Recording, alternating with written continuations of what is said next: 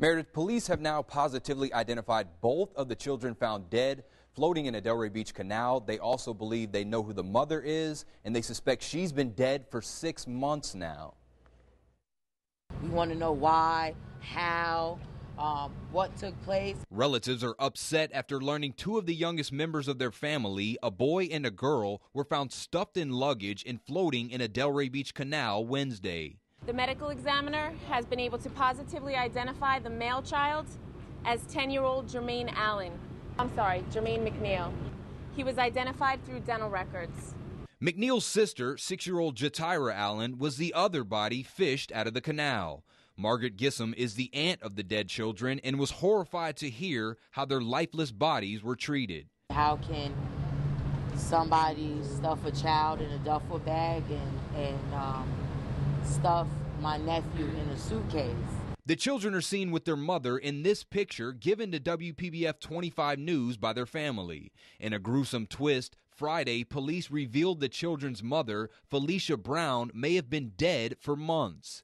Investigators believe the 25 year old was found in a West Palm Beach landfill back in August. Due to several identifying marks to include tattoos, we believe the female found in West Palm Beach is indeed Felicia Brown. But Brown was never reported missing by any family members. Her sister says she hasn't spoken to Brown since 2007 and they lost touch after the death of their mother.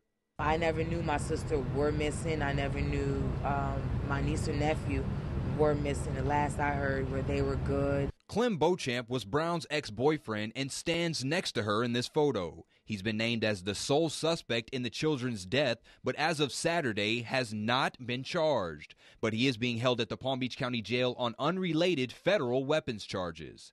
On Friday, police searched Beauchamp's home and yard and removed three cars from the property. Clem Beauchamp remains behind bars at the Palm Beach County Jail today after his arrest for a federal gun charge. Detectives will comb through the three cars they seized from his property for evidence, but for now he has not been charged with killing those children. Live in the studio, Jason Newton, WPBF 25 News. Relatives of the children found in the canal, including the father of one of the children and the great grandmother who lives down the street from Clem Beauchamp, are obviously devastated by this week's tragedy. And he could have brought them to me. I'd have took my grandchildren right off his hands as he was tired of them. He lived over and I lived there. I'm just devastated. I just, I just, now I feel like I should have been there. Um, I'm just beating myself up about it. I should, I shouldn't have let her stay there. I should have did. I should. I just feel like I should have did more. The great grandmother says that Beauchamp was at her house earlier this week and would not tell her where the children were. There are many twists and turns to this tragic story in Delray Beach. Here is a timeline of how events have unfolded so far this week. To recap this developing story, the two children found Wednesday in the C-15 canal have been identified as 10-year-old Jermaine McNeil and 6-year-old Jatira Allen. The little girl was found in the morning hours on Wednesday, while her brother was found later that day. Their bodies were both stuffed into luggage. Their mother, Felicia Brown, had been missing for months and was found dead in August in a West Palm Beach landfill. Investigators have linked Brown to the children because of tattoos on her body. Police say the children and mother mother were never reported missing.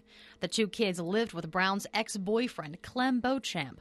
Police tell us the kids were not in school Tuesday at Pine Grove Elementary. Neighbors of Beauchamp say the two victims found Wednesday matched the description of the two kids who lived with Beauchamp. Neighbors even say that he was acting unusual, going to church, praying, and cut all of his hair off.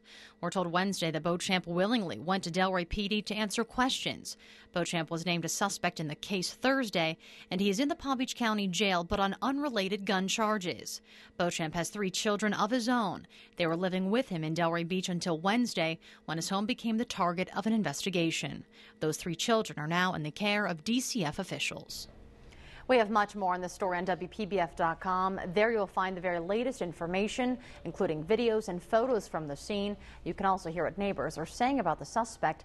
Just click the story right there on the homepage. A Broward County mom is heading to jail for forcing her kids to live under a Fort Lauderdale playground during yesterday's sentence.